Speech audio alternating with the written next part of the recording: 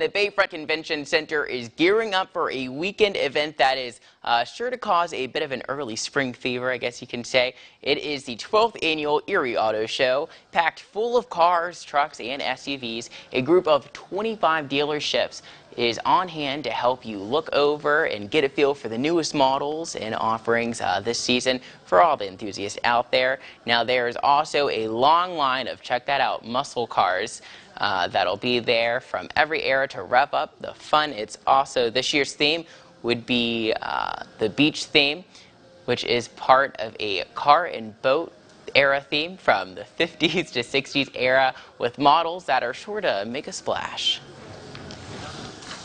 1955 Chevrolet Waldorf Nomad towing a 58 Chris Craft boat. And we've got a 1967 Corvette towing a 1965 Donzi speedboat.